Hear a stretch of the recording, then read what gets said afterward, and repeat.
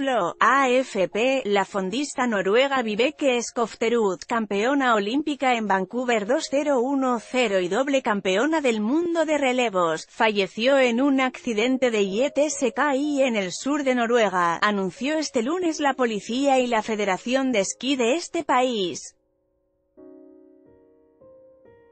Lee también, matan a puñaladas a patinador, medallista de Juegos Olímpicos 2014 El cadáver de la deportista, de 38 años, a quien su pareja había declarado por desaparecida unas horas antes, fue hallado el domingo por la mañana en un islote cerca de la ciudad de Arendal.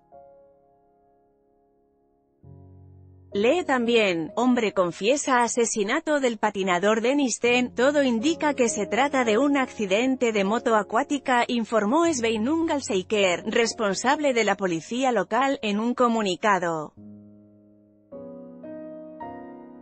Medallista de oro en los relevos 4 por 5 kilómetros en los Juegos de Invierno de Vancouver 2010, y campeona del mundo en esa misma prueba en 2005 y 2011, Skofterud anunció su retirada deportiva en enero de 2014.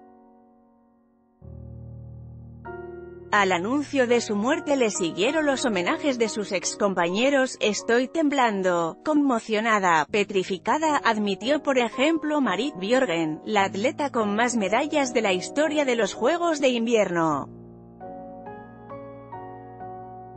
En esta nota, luto campeona olímpica accidente y ETSKI.